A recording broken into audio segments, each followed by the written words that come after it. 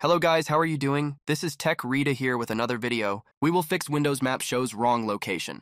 Go to System, then click Troubleshoot.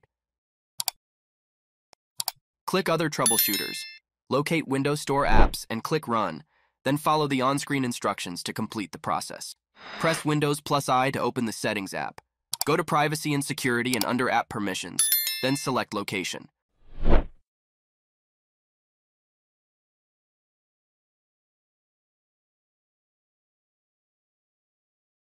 Locate the location history and click the Clear button. Press Windows plus E to open File Explorer. Go to View, then Show and select Hidden Items. Navigate to this path.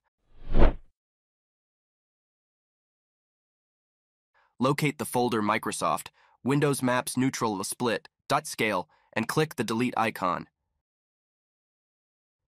You might see two versions of files. Delete the one with an earlier date. Reboot your computer. Press Windows plus R to open the Run dialog box.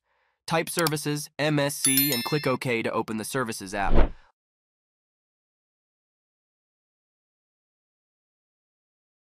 Locate the geolocation service and double-click it to open the properties.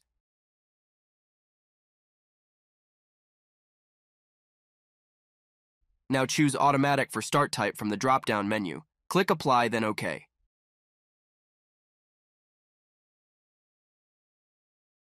Press the Windows key, type CMD, and click Run as administrator.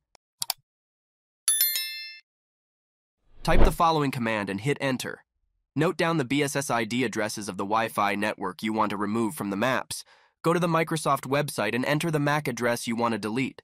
You might have to wait for a few days to let the changes take effect. Now turn off your Wi-Fi adapter and open Microsoft Maps. Click the Show My Location.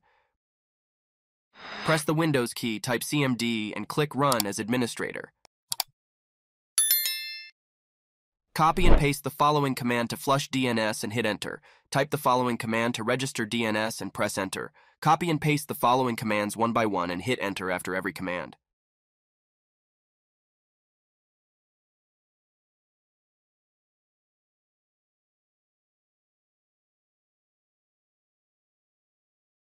Restart your computer to let the changes take effect.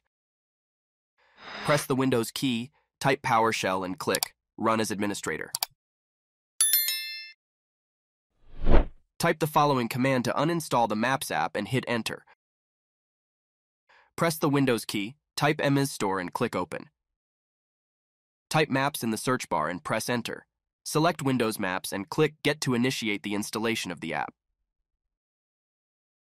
Thanks for watching. Hope this helped. If so, hit like and subscribe for more content.